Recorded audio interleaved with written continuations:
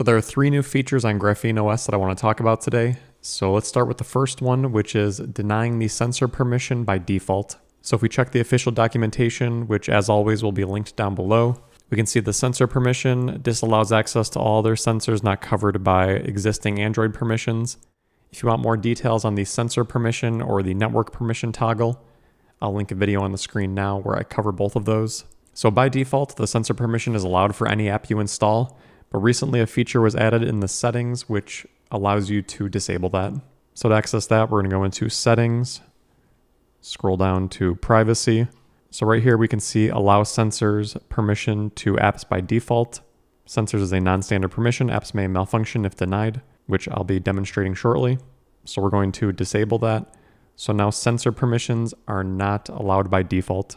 Also, the note here describes that some apps may need to be manually restarted after allowing the sensor permission for it to work correctly. So to show how this works, I'm going to go into Aurora Store. I'm going to search for a Compass app, download the first one, install, select install. I don't actually use this app, I'm just using it to demonstrate this setting. So now if we go and open the app, we can see the app doesn't work because that sensor permission, which regulates the compass access, it's not able to access it. We see here sensor error, the motion sensor on this device are not responding because sensors are disabled now by default. You might notice a pop-up that showed up here. Compass tried to access sensors. If we want to allow it now because the app is not going to function, so our compass is useless, we can go ahead and tap on that. And here we now have a prompt to allow those sensor permissions. So I'll select allow. And this app did work without restarting, but some apps you might need to restart. And we can now see the compass is functioning as expected. So I do think that's a good toggle to disable. Not all apps need access to the sensors on your device by default, so disable that. If the app doesn't work, you can either use that notification you saw where I clicked allow, or you can long press on the app, go to app info, go to permissions, and from here you can also manually allow or disallow sensors if you're trying to troubleshoot an app in the future. The second feature I want to talk about is disallowing the network toggle from the installation screen.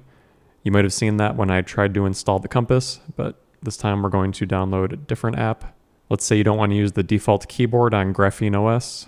Instead, you want to use Gboard, which is the Google keyboard. I'm Going to click install. But when using this app, you don't want to allow it network access. In the past, you'd have to install the app and then disable that permission from the permission manager on the phone.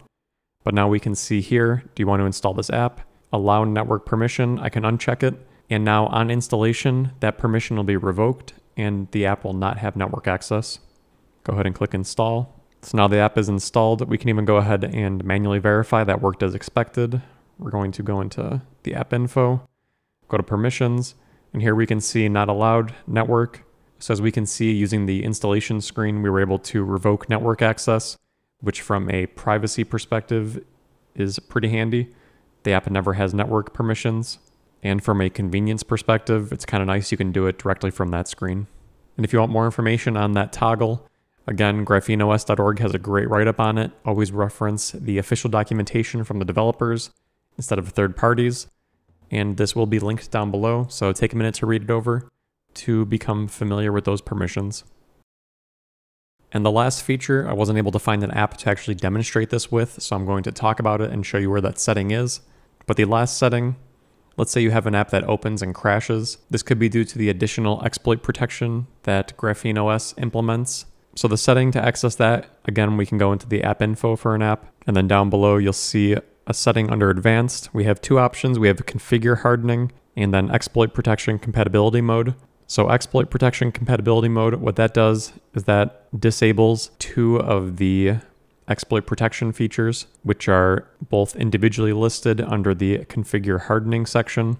So if you want to troubleshoot and only disable one of them if you're having trouble with an app, you can do so here, either one or the other. Or you can simply enable the exploit protection compatibility mode. And again, their site has some more info on that actual setting and what it does. Recently, this was affecting a lot of games that used Unity, as they had a memory corruption bug, which could be used to actually exploit the individual app. But since Graphene OS has additional exploit protection that was causing the app to actually crash because it couldn't launch correctly. And this is not an actual issue with Graphene OS, it's actually uncovering issues with apps and how they were written. In the future, I do want to go into some more detail regarding hardened malloc and a few other things that Graphene OS does for exploit protection. Honestly, it's pretty amazing the things they protect against that you don't really see, but they're just happening in the background. And to me, that's just one more reason to use Graphene OS as compared to another uh, Android based OS, even standard Android OS, or one of the other ones out there that are popular. So, just on to one more tangent since we're on the topic. These security features, such as the exploit protection, is probably one of the most important features that Graphene OS has. Unfortunately, it doesn't get much attention because, as a security feature, it's just sitting there running in the background all the time protecting you, and it's not as flashy as some privacy features that people talk about. But it is an extremely important feature, and they have some great write ups about it on their website. So I do suggest going over there and checking it out, especially the exec spawning and just some other things over here, such as the bugs uncovered by security features. These are some great features running on the OS that most people don't know about.